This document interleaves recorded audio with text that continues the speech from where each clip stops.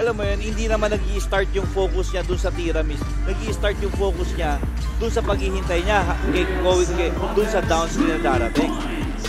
It is starting to get ball. Back to live action. Cervantes working against Lawrence Magliari. Good move by Real. that spot on that elbow is Una days pa, no? correct.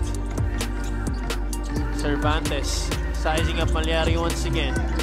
Bulacan dropping down into mini zone. Cervantes decides to pull back and fade away.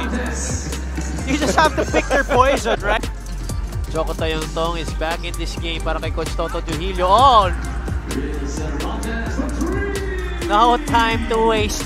He has 4 points after going for 20 in less than 20 minutes against Zamboanga. Cervantes, the step back, hits the bounce!